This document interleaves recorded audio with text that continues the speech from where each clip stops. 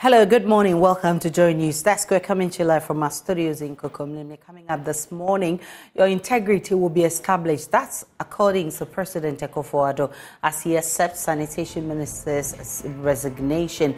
We'll probe into those comments by the president and also find out whether Cecilia Dapaah's resignation exonerates her from any wrongdoing.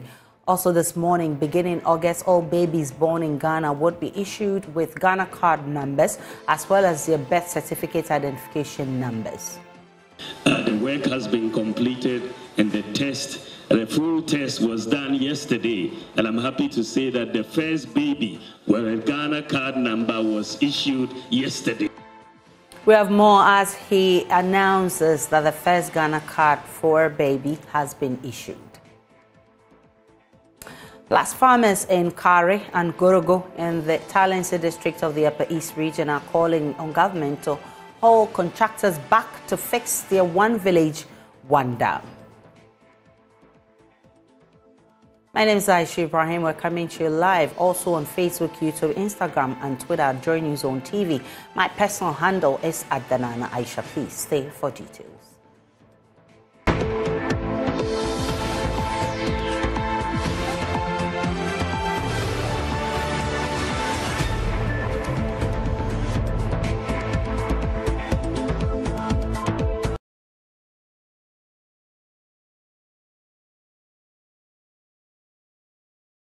President Akufo-Addo is expected to appoint a new sanitation minister as a replacement for Cecilia Abena Dapaah. This follows the resignation of the latter hours when news broke that her house help had stolen cash worth over $1 million, which she had stashed in her Abelemkpe residence. In his acceptance comments to the former sanitation minister, the president said he believes the integrity of, the, uh, of Madame Cecilia Dapaah will be established. While anti-corruption campaigners have since described the comments as feeding into the perception that the president is a clearing agent for his appointees perceived to be engaged in corrupt acts, particularly at a time when the public servant in question is yet to face any legal institution or body for investigations. In addition, Cecilia Dapaah has resigned and has assured her preparedness to avail herself for any public inquiry here on News Desk. We'll ask, does this put the matter to rest? To what extent does the president's comment influence any future probe into the saga? Professor Baffour Agyeman-Duah is former UN advisor on governance. He joins us with more. Prof, I'm grateful for your time. Let me first find out from you, does her resignation put the matter to rest? This incident evokes all kinds of sentiments uh, regarding the way our resources have been managed over the years by government. And this particular case, I think, uh, is a fine opportunity, in my humble view, for government, for the president in particular, to highlight the need for public officers to put up the best uh, conduct when they are in office. And I think uh, the resignation the right thing. Uh, the minister took the right step. And I personally like the idea and commend her for offering to cooperate fully with agencies that may be investigating this particular case.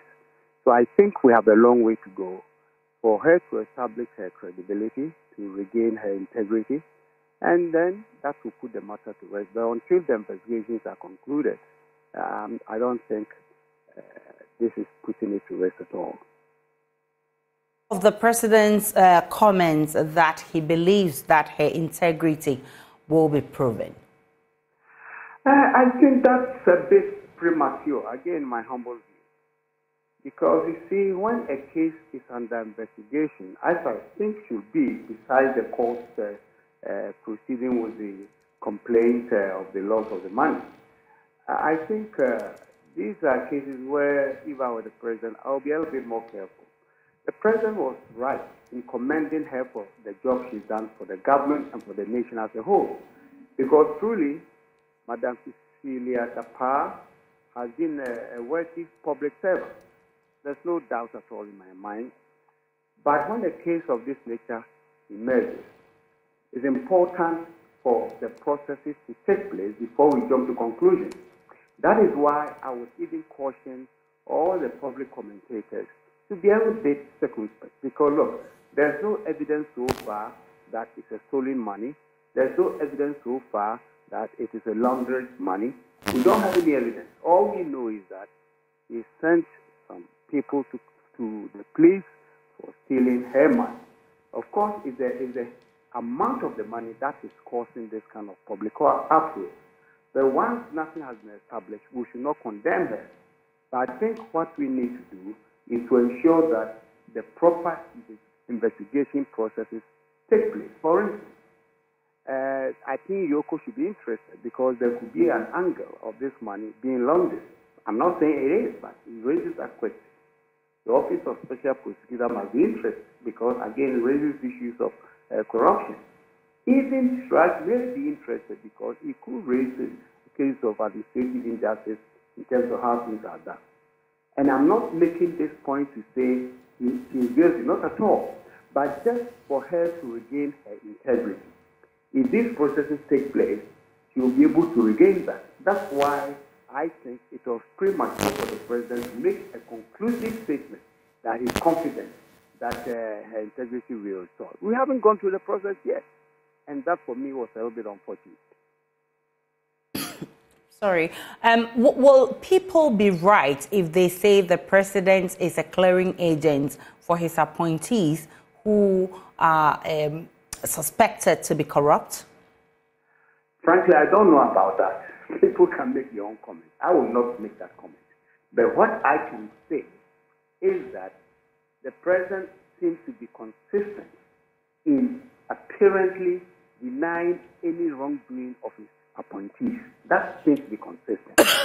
because for me, this would have been a wonderful opportunity to stand tall by taking a certain stand. While commending her for her great services to the nation, it could be an opportunity for the president to reiterate uh, the, the, his, his, position on this whole notion of corruption and thievery and all. Not saying the lady is guilty, not at all. We don't know that. But for the president not to take that stance, not be, not be to be a little bit more aggressive in uh, making a bold statement on the need for public officials to conduct themselves well. I think he misses the boat on that. All right. So as I say, uh, uh, it's not that Madame Dapaah. Look, this woman has worked for many years. I know that personally. And before he, he got into this government, she ran a business. Her husband understands also a business person. But the whole idea of a public official keeping that amount in the house is what is causing this brouhaha. Maybe in the end, when the proper processes are done, he will uh, emerge victorious in, in, terms of finding uh, nothing against her. And I think that's what those of us who know her pray for. Nonetheless, if it is found out that he breached certain rules and all, then sanctions might be imposed. See, if you're a leader, you got to bold in taking certain decisions that reinforce the kind of image you want to present to your people. That's why I think people are saying he's a, he's a, he's a clearinghouse. I don't believe so. But I can say that he's been very consistent in not damning any appointee who allegedly have committed kind of uh, offense. And that's what my problem with him is. Picture then that her conduct and that of the president paint as far as good governance is concerned? You see, if you take this country, the present conditions of the country into account, how some people have lost their their money investing in government-owned banks. How the economy is kind of uh, grounding down and people uh, we have experienced all these kind of things. If I'm in government, I'll be very careful about these things, about money, its usage, and its storage. Okay? Because the reason why people are up in arms, and I believe many may believe that the man is a very decent woman. I know as I keep saying. So probably it's a, it's a, a matter of indiscretion on her part and her husband's part to have stored that money uh, uh, in the house. Probably uh, confidence in the banking system is dropping, so people want to hold their money. There are all kinds of possible reasons. And in fact, one can even argue that traditionally, and I know he's uh, from uh, Asante, people like to keep money, you know, but nonetheless, when you're a public official, your behavior must be distinctively different from a private person. If a certain private businessman had $10 million in the house, they stole it, and it came out, I don't think the uproar will be as great as we are having it right now. Okay? And I think that's where our public officials are missing. They are missing something. They forget that even if you're a public official and you're a millionaire before becoming a public official, immediately you take the oath to serve the nation, everything changes. See, that's why you remember when Dr. Nduom decided to get into public office, he announced publicly that he was divorcing himself from his business so that there will be no iota of a, a conflict of interest. That is the way to do. So rich people can go into government, but certain measures are taken to separate your new role from your own role. So I guess the point I'm making is that even if the the Madame Cecilia Dapaah money is legitimate, he had it, you know, before even getting into government. The fact is that his present position expected her to, behave better in terms of how she's managing his own private affairs. Prof. Agyeman-Duah, I'm grateful for your time. He's former UN advisor on governance. Meanwhile, MP for Tamale Central, Ibrahim Murtala Mohammed, says President Akufo-Addo's comment seeking to clear former sanitation minister Cecilia Dapaah is unfortunate and does not signal a true effort at fighting corruption. President Akufo-Addo, in accepting the resignation of minister, indicated his strong confidence in the minister that she will be exonerated of any wrongdoing. Speaking to Joy News, Ibrahim Murtala Mohammed argued that the president was already seeking to clear the minister even before an investigation. Let's get more from Parliamentary Affairs correspondent Kweku Asante, who has joined us. Kweku Murtala Mohammed is concerned that so many more ministers may be hoarding money in their homes. In fact, he has very strong words President Akufo-Addo, who he accused of being a clearing agent. He says the president should wait for proper investigation to happen into these allegations that have been made against the minister. In fact, he says that despite the minister's allegation or claims that there are consistencies in the reports that have been put out so far, the minister has not proven any contrary figures to this effect. He says that it is the belief of the minority that the president is only seeking to do what he normally do when there's corruption allegation against his ministers to clear them. He's also alleging, for instance, that if you see the amount of money involved that has been said to have been stolen from Madame Cecilia Dapaah, it will mean that more ministers are even hoarding more cash because these are money they gain from corrupt or illicit proceedings, for which reason they cannot lodge in the bank. He says that contrary to the government's claim and almost always calling on Ghanaians to actually not hoard the foreign currency, especially the dollar, his understanding is that a lot more ministers are doing so. And in fact, he says that the Public Accounts Committee must take some keen interest in this and look in. Well, Kweku Asante is a parliamentary affairs correspondent. Kweku, if you can hear me, we know that the Public Accounts Committee is sitting this morning. Has this issue come up and what else uh, can you report from there? Well, well, Kwasante, we know that, that, the Public Accounts Committee is sitting. Has this issue come up? So the, the, the, the minister's ministry is expected to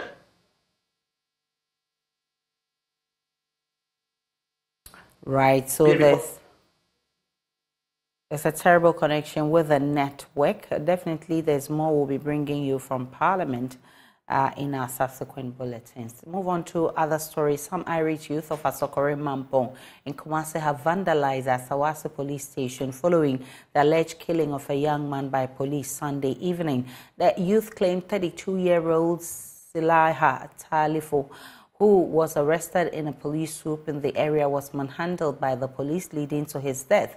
Louver blades of windows and benches at the station were destroyed by the youth who pelted stones and other materials at the station.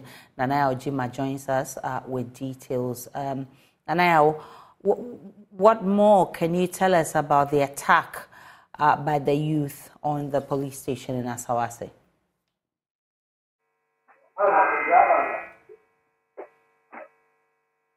Nanaya, what more can you report from Asawase?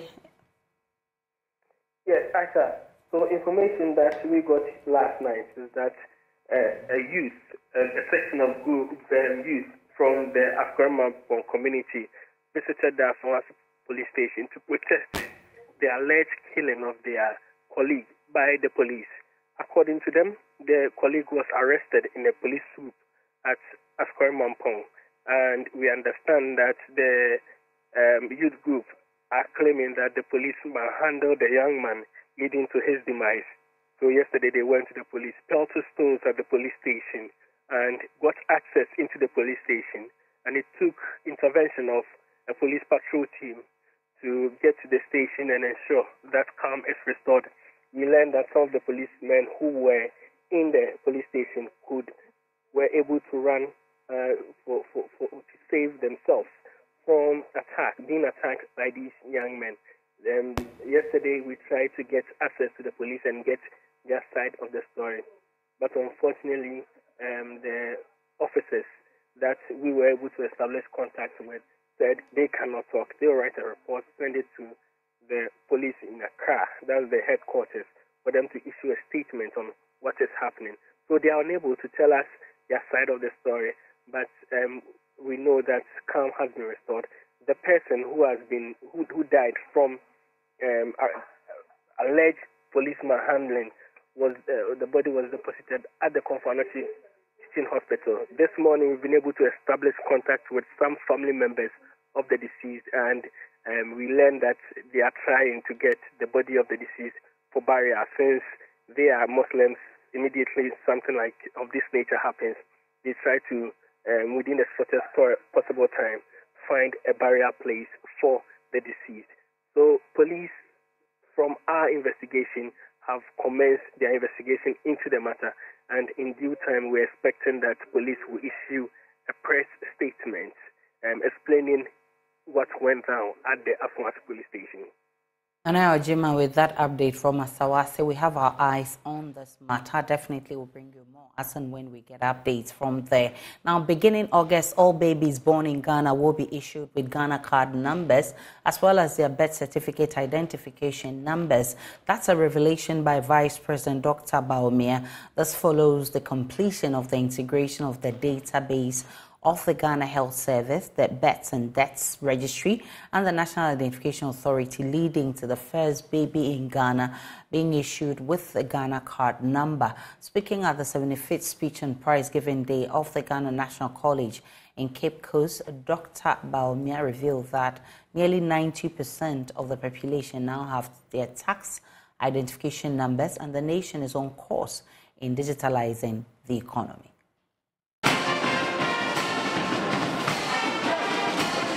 Speaking at the 75th anniversary of the school, the vice president indicated that government was working deeply to ensure that all facets of the Ghanaian economy is digitalized. He says Ghana's economic transformation is inextricably linked with the digitalization of the economy. We came into office, only 4% of the population had tax identification numbers. We said, make the Ghana card the tax identification number, and now we have 85% of the population with tax identification numbers. I am very happy to announce here, and I think this is the first time uh, because it just happened yesterday, we wanted to make sure we will be able to issue Ghana card numbers to children when they are born. Right? And we have therefore integrated the databases of the National Identification Authority with the Births and Deaths Registry and the Ghana Health Service. Uh, the work has been completed and the test the full test was done yesterday, and I'm happy to say that the first baby with a Ghana card number was issued yesterday. So you are entering into a world from next month. From next month, all babies born in Ghana, once they take them to weigh in, weigh in they will be issued the Ghana card number, and also they will be because of they will also get the birth certificate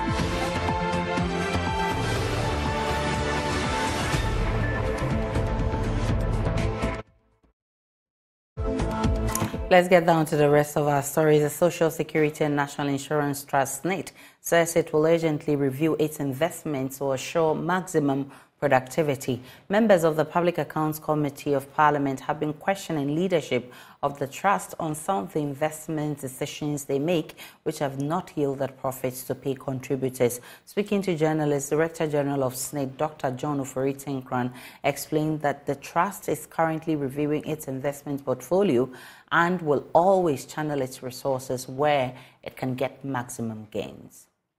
The, our minister said uh, it's about time we look at some of the uh, economically targeted investments that have been made in the past um, and have a policy that makes sure that we enter into uh, investments which are going to give a return to the to the to the trust.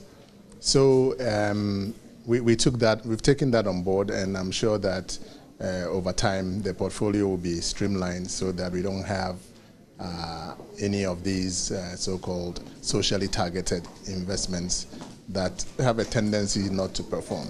Uh, we've made significant progress from where we were the last time we appeared. Uh, a lot of these uh, investments that need a, a bit of restructuring and cleanup, we've made a lot of progress.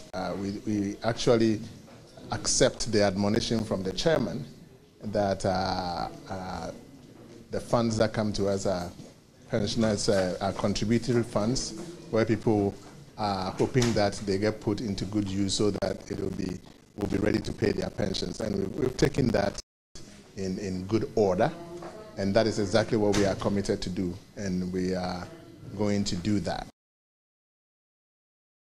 Dr. Tenkorang also revealed that government's domestic debt exchange program has not affected the trust in any way that will prevent it from honoring its obligations to pensioners. With respect to the DDEP, let me address that first. I think the good news there for pension funds, not only for SSNIT, but for pension funds in general, is that uh, the government uh, uh, exempted us so for those of us who hold uh, government bonds, um, we haven't uh, suffered any losses in respect of uh, haircuts or anything like that. Um, yes, SSNIT as an investment, as a uh, as part of our investments, we do invest in other companies who are exposed to the DDEP, uh, especially the banks. Uh, so that is an indirect effect there. But it is not something that is material that that would prevent us from honoring our obligations. We are committed to make sure that we are making good investments, and um, I think I want to assure uh, contributors and pensioners that, you know, as much as one cannot predict what the investment landscape is going to be like, we make sure that we are putting the necessary checks and balances in place to manage our risk and to make sure that on a risk uh, adjusted basis, we post good returns for the contributor. In the Upper East region, farmers in Kari and Gurugo in the Talensi districts are calling on government to hold contractors back to fix their One Village, One Dam. They say the dams are too important to be abandoned in their current state. They want the basing of the dams deepened, the embankment walls firmed up, and the area of the dam widened. Jojo Kobna has more in the Joy News Hotline documentary, Testy Dams.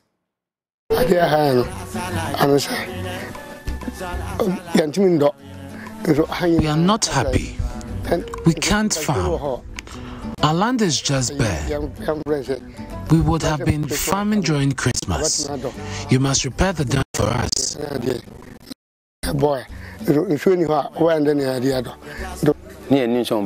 We had no idea the dam would be constructed like this. We thought they would do a good job. We farm on this land we gave away for the dam, and we're excited because we hope it will help us. They came here to help us by constructing the dam so that we can farm all year round and make money. But the dam dries up so fast, you will not even recognize the site as a dam. I planted in the first year and the water dried up, so my plants died. The farmers say they will not count it as a loss if the government brings back contractors to reconstruct the dam. Some pledged to support the government to clinch to power if the dams are properly constructed. I pray the contractor comes back to the site to construct it the way we want. If our dams are well constructed, we will support you always.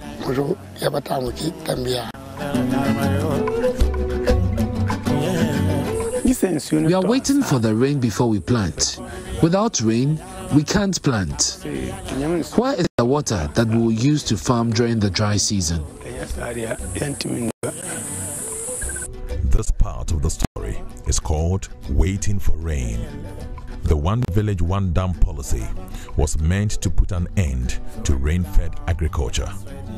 The government hoped that, just as people in Burkina Faso farmed all year round, and even exported tomatoes to Ghana, people in the northern region would be able to do the same. Unfortunately, the people of Gorogo farm only during the rainy season. It is the main reason why the assemblyman for Gorogo, Roland Basama, is refusing to call the project a dam. And his reason is Actually, we don't call this one a dam. This is a dugout. Well, the closure of the shea nut factory in the Savannah region is said to be affecting shea business in the area where the product known as the northern cocoa is largely found. The $10 million factory joint venture between the Produce Buying Company Limited and Messrs. LDS uh, Equipmentos Industries Limited of Brazil was established to process shea nuts into shea butter, shea oil, among others, for export to Brazil. But the factory has been closed for the past four years, pushing a lot of people into the market, and uh, its effect is affecting their livelihood. The factory now outgrown with weeds, was once a vibrant site which boomed with activities. The place is now very quiet with only the sound of chirping birds and the movement of animals.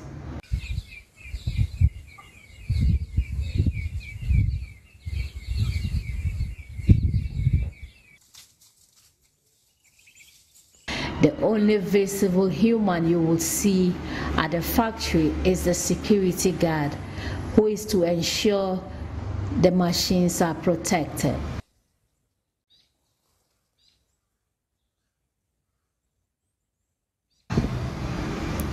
The factory that once bought shea from the people in the area now sits in the bushes idling. The assemblyman for Old Buipe electoral area, Esuwini Williams, said share they the previous years are sitting uncollected, making the people poorer each day. When PBC was in progress, there's nothing like coming to me for support. My people were getting what they wanted because um, their duty is to pick and they will come and buy money, food, everything was just in abundance. Now, you get to my village and see. People pick down China since last year. No one stepped there to pick them. The five regions of the north, which are largely known as the poor regions of Ghana, the factory was to turn things around considering the global demand for shea butter. But that hope is dashed. Yakubu Fatima, who picked shares, said they are forced to sell at very low prices, or you may have to process it for home consumption. With this stress that you go through, the only benefit is when you use it to make shea butter for the family. But if you want to sell it, your profit is just marginal. What they do is they just come and buy at cheap prices. Madame Idisa Aramata buys shea from the villages and resells. She said In the past, she would present it to the factory and take her money instantly. But currently, she has to travel several kilometers to Tamale and even sell it at cheaper prices. In the past, when I go around the villages and buy, I go to the factory and they pay me instantly. But now I have to travel to the Tamale market and sell, and the buyers will buy it at very cheap price. At the Abu market, shea nut sellers want government to pay more attention to the produce because of its important value around the globe. The price have gone down completely and yet there is such struggle in getting the nuts. Now the value of the shea is even more than the cocoa. With shea nuts, you can get oil, use it for soap, pomade, making of chocolate among others. Therefore, these uses are many, yet the price has gone down completely. Therefore, we are calling on government to intervene. The closure of the factory is not only affecting people working in the shea value chain, but also the youth of Buipe who were largely employed at the factory. Abdullah Baki, assemblyman for the Buipe electoral area, wants government to intervene and do to revive the company so that their youth in that particular in Savannah region will get something doing because uh, government made a pledge of giving every district a factory. Unfortunately, we were already having an existing factory in uh, Yapei-Kusawgu constituency. So if they were, if the government were even to give another factory, it was going to be a plus for the millions of people in the shea value chain, what they are asking is that government pay attention and revamp the factory to, to create jobs and income for the teeming unemployed youth in the area. For Joy News, Martina Bugri reporting.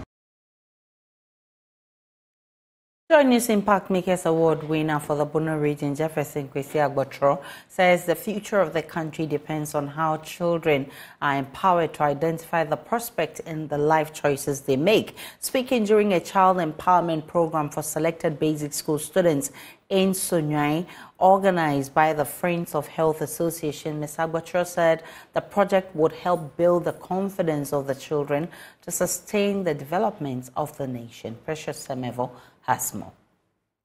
The future of every nation depends on the choices of the younger generation. Your future is what is in your own hands. You can protect that future.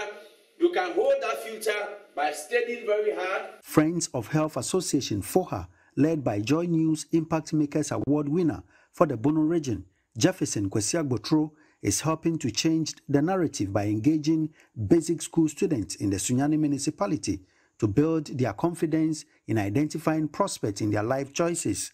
Students from the Norbert Educational Complex at Yaohima and Assemblies of God schools in Sunyani were exposed to the causes and effects of drug abuse and teenage pregnancies, mentorship, career guidance, and menstrual hygiene education, among others. We are telling them to ensure that they do not become victims of teenage pregnancy, victims of drug abuse, they do not become victims of child marriage. And when we have these young ones going to school, it means that they are going to become productive, they are going to work, and their dependency ratio or unemployment rate by extension in years to come is going to reduce. So I was motivating and empowering them that it's possible. The future is full of possibility, and they just have to stay focused until they get there to make greater impact in their generation. Some of the teachers said the empowerment drive deserve commendations. I would like to acknowledge him for his boldness, also his know-how about how children should position themselves in doing things. Ghana is turning to um, a country where um, youths find themselves in a situation whereby they don't know what to do. For him to take upon um, himself to, to, to, to organize such a thing, I think he should be applauded, even more than this. FOHA hopes to empower over 2,000 children, a project Mr. Gotro said requires the support of stakeholders to help children make the right choices today to impact their future and the country tomorrow. We need to go to the hinterland, the hard to reach areas. And then we need transport to carry volunteers there. And then we also need some, at uh, the menstrual park, we also need some item to motivate the kids. So definitely we are calling on all these stakeholders.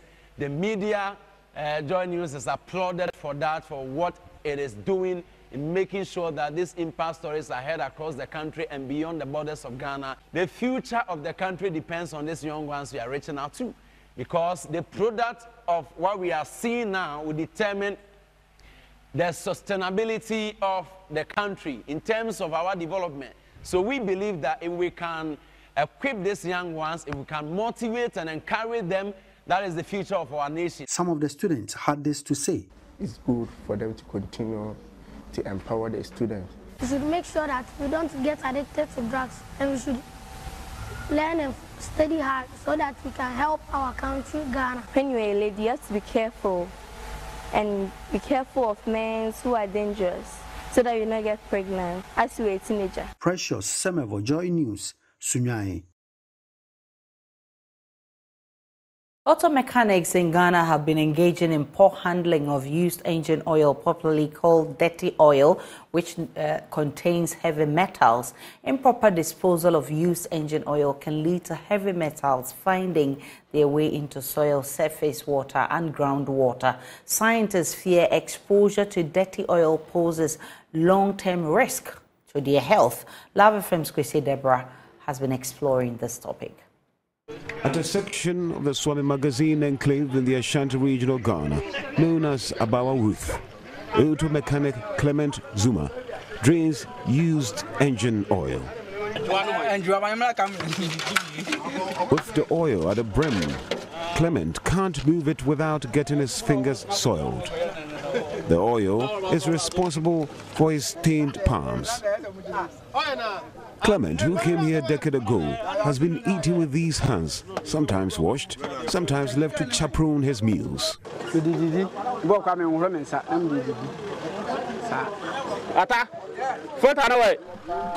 Though Christopher would like to don long sleeves to work to limit skin contact with both dirt and oil, he hasn't been spared the discomfort of dirty oil on his skin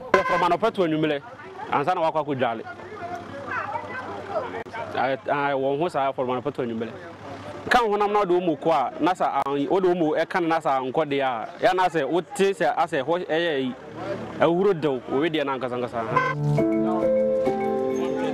Engine oil is a type of lubricant used in automobiles to reduce friction, heat, and wear among mechanical parts that are in contact. These oils are chiefly petroleum based or synthetic oils with some additives for improved performance. As a result of its continuous use, the oils become contaminated and therefore must be replaced with fresh engine oil as the used engine oil is no longer functional. Waste oil has been found to contain lead, zinc, arsenic, chromium, cadmium and sulfur. These metals have been found to be harmful to the body the major organs can be in serious danger when exposed to these metals. Professor Fred Boadu is with the Duke University. First, it can cause cancer. Two, it can cause hypertension. Three, it can cause uh, miscarriages in pregnant women. Four, it causes erectile dysfunction in men, and it's very, very, very potent in that aspect. That is well uh, uh, scientifically proven that can cause erectile dysfunction. And two, also, uh, it causes diminished learning abilities in children. Improper disposal of waste can lead to heavy metals finding their way into soil, surface water, and groundwater. Unfortunately, pouring used oil on the ground is commonplace, a practice thought to strengthen the soil. Ah, yɛtututu gu wɔn si yɛtumi hwiehwie gu baabi ayɛ baayɛ ne yɛ ne adwene wɔ yɛtumi sɛ sɛdeɛ aha no yɛ mmerɛ no nti no yɛde ɔyɛ gu gu hɔ nom a ma hɔ no yɛ den ɛno nti adeɛ a ne ɛwɔ yɛtumi sɛ yɛnhwiehwie hɔ As part of efforts to identify and address some public health concerns in Africa, the Civil Engineering Department of Duke University in the United States of America have partnered the Kwame Nkrumah University of Science and Technology Ghana to understand these practices in order to help the auto mechanics at Suame Magazine to deal with them. Professor Fred Boadu, who is leading the team, has previously researched the presence of these heavy metals in the blood of the auto mechanics where heavy levels of these metals were detected. Uh, Duke University has a very good program, uh, what we call the Bass Connection, where they allow people to do research in various areas. So I did uh, have a grant from Bass Connection and I came down to look at the uh, heavy metal level contents in the auto mechanics. So we took their uh, fingernails, hair nails, and sorry, fingernails, toenails, and hair, and we analyzed for these metals. And we did find out that, uh, or we found out that, uh, depending on the number of years that you work as a mechanic, you have higher metals in your system. So those at younger, uh, uh smaller years of working here had lower uh, metal levels, and those with higher um, years of working, like over 12 years, have very high level of metals in them. So that was where the whole thing started. That we thought that the metals. Um, uh, has a lot to do with the retention in their system. In addition, we also measure the blood pressure and we realize that the higher the metal level content in your system, the higher the blood pressure measurements. So that prompted us to come and do more of uh, educational, uh, health education for the mechanics. Okay, so the students are happy with the interaction with the auto mechanics. Um, and one thing that I've noticed is that I, I think a lot of them have actually known to some extent that there are some problems that can be caused by um, the motor oil and not wearing protective equipment. But I feel like we're going one step further and helping them further understand the effects that can be caused by this motor oil and the heavy metals. Um, for example, I think a lot of them don't know uh, about exactly all of the problems that can be caused, such as cancer and liver damage. On uh, on the Joy News channel. We're also live on Facebook, YouTube, Instagram, and Twitter. Let's take a break when we return. There's business.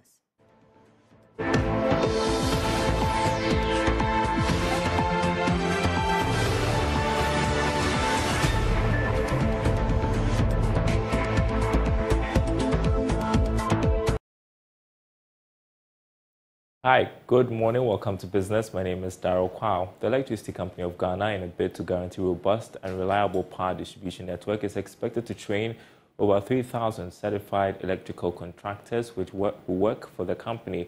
The training, which currently focuses on effective earthing system, also has other modules targeted at equipping these contractors to ensure safe distribution.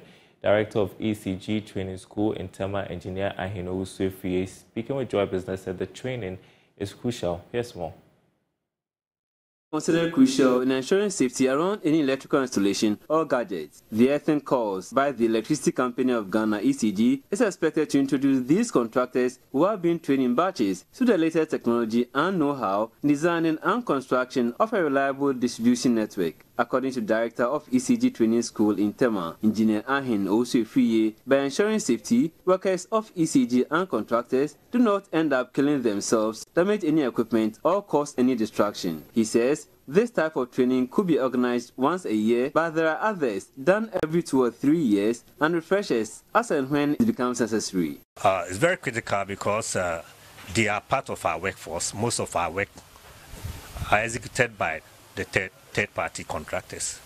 And if they have to deliver to our standards, they have to be trained on what the best practice and what the standards are.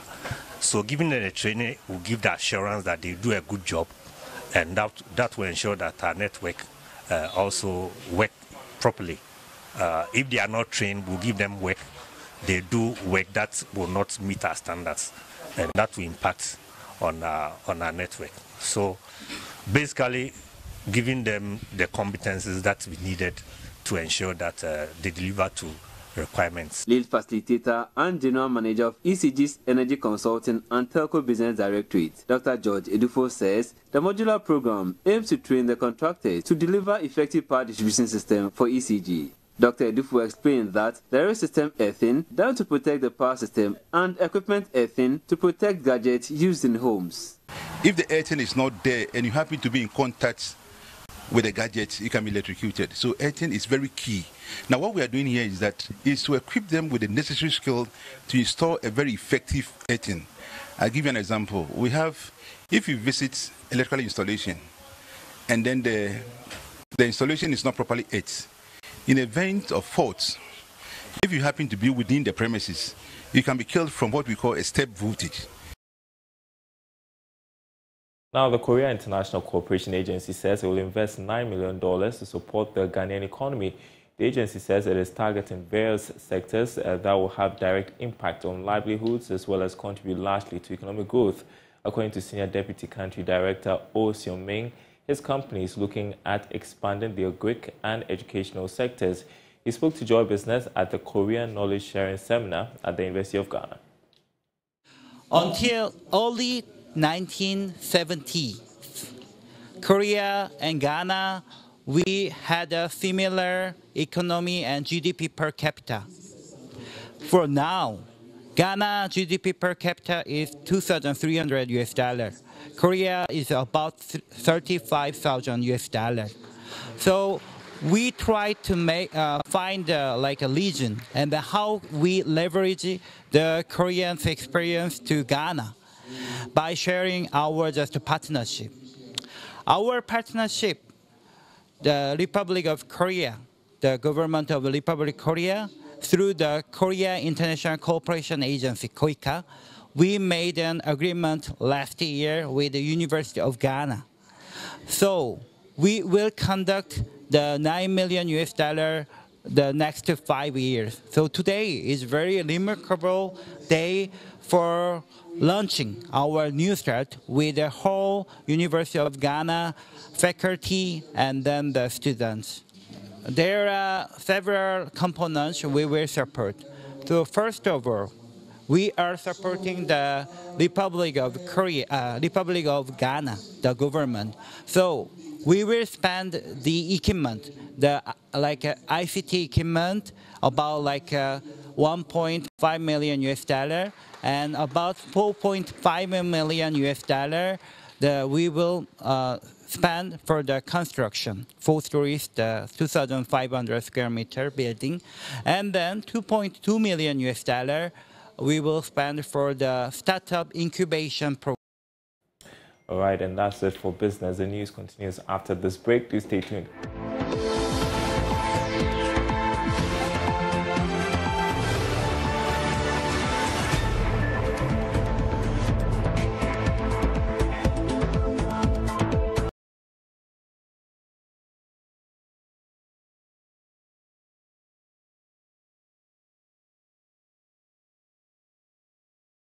Welcome back to the rest of our stories. More people are resorting to trekking as Agona Nkwanta-Takoradi Highway has become impassable. The road, which has deteriorated over the years without proper maintenance, is causing long trailers to break down frequently on it, resulting in the buildup of huge vehicular traffic on that stretch. My colleague Samuel Kojo Brace is monitoring uh, things for us there. He joins us via Zoom with uh, some live updates. Kojo Brace, how uh, dangerous uh, and deteriorated is this stretch? Well, I, I think it, it's uh, beyond description. The road has really deteriorated to the point that it would take an, you know, a massive construction to get the road back on track and or back to the state where the vehicles would have a smooth, you know, drive on it. Now, as we speak, there are two portions of this road that have been blocked, and it takes some smart driving for smaller cars to bypass it because two long trailer vehicles have locked up at uh, St. Mary's um, on the stretch when you're getting to Apoma. When you are able to cross it, there, there are also two long trailer vehicles that have also blocked the road at Ewusiejoe. So when you cross this one, you get to Ewusiejoe and you are not able to pass. I've met people who say they've gotten close to El Ewusiejoe, they want to get to Agona, but because they are not able to cross the huge traffic, they have to return to Takoradi. Now, here with one man who's been walking from Takoradi to this point. He says he's going to Apoma Chief. How is that? I'm fine, thank you. Why did you choose to walk? Because the road, you learned that the road is broad. You learned that the, the road is broad. Yeah. That's why I'm walking from Takoradi to Apoma. How many minutes have you been walking? Uh, about 30 minutes now. Well, I, I so. Um, see, he had to resort to trekking, and and I've seen a lot of people who are walking as well because if you don't walk, you'll be stuck in traffic. Some said they've been stuck in traffic for two hours. Uh, some say they've been uh, stuck in traffic for an hour. And, and everybody and his or her story, it's, it's quite a hectic situation here.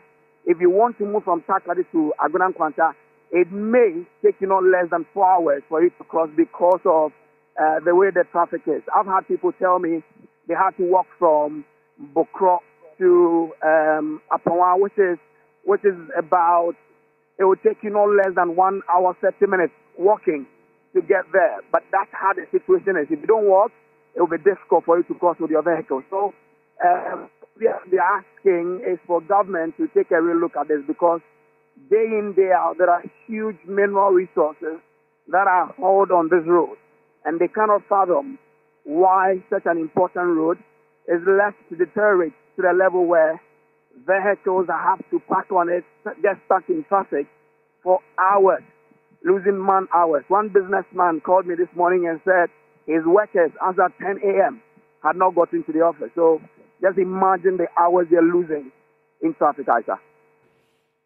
Samuel, could you breathe uh, on that stretch? Bringing us uh, updates on how deteriorated that stretch has become. And that's how we wrap up the bulletin this morning. My name is Aisha Ibrahim. You can log on to myjoyonline.com. Over there, you'll find uh, stories and updates of all the developing stories. One of them, NCA kickstarts digital audio broadcasting trial in Accra and Kumasi in August. You will find a number of the stories or uh, top stories on uh. My name is Aisha Ibrahim. See you again at 12.